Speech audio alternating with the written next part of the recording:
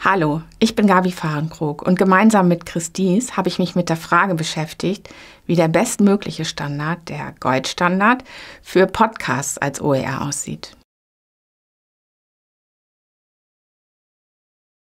Podcasts sind mittlerweile auch in allen Bereichen der Bildung ein weit verbreitetes Format. Die Besonderheit bei Podcasts als OER ist, dass es dafür bereits eine ganze Reihe guter und frei verfügbarer Software gibt, sowohl für die Produktion als auch für die Verbreitung.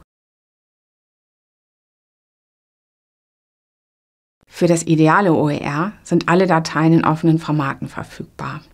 Die Bestandteile sind zudem frei lizenziert und alles steht über Plattformen oder Webseiten zur Verfügung, die frei zugänglich sind.